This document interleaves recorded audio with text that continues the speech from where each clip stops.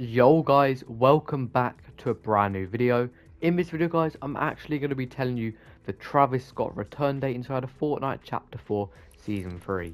Before we get into it guys, I do actually give subscribers here on my channel. All you guys have to do is leave a like, subscribe, put on channel notifications, head on over to the item shop guys and use code LoDj1c. Now guys, let's get into today's video. So guys, today is actually Tuesday the 4th of July. Um, today we did actually have an update. Um, this is also the item shop. We have a fireworks team leader which comes with a new edit style. Pretty cool. Um, obviously we have quite a lot of cosmetics to do with the 4th of July because obviously it's a big event. Um, this is the rest of the item shop. Obviously we still have the Marvel skins here. The Race Royale bundle.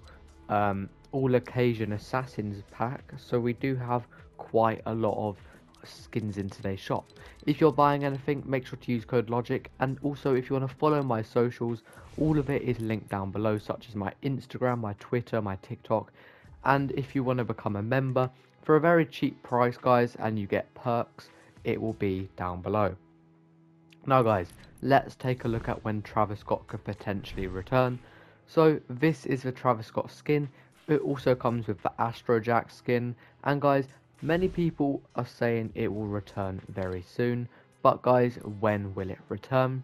Because of the update today, usually on Tuesdays we get skins decrypted in the files. and guys, for quite a while, the Travis Scott skin has been decrypted within the in-game files. This means it will return quite soon because it's been in the files. But the question we don't know is when. Guys, Travis Scott is releasing his brand new album Utopia very very soon.